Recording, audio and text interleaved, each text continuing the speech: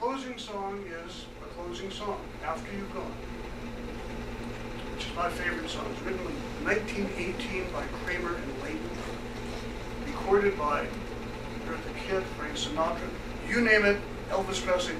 I have over 37 recordings of it, and everybody's recorded it.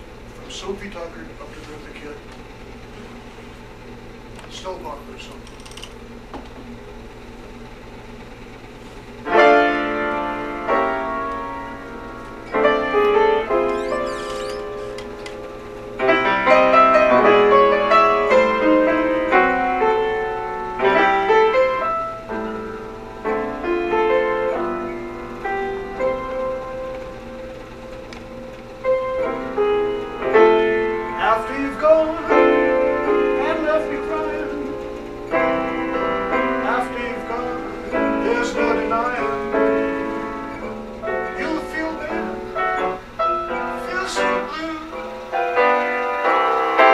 the best man you ever knew.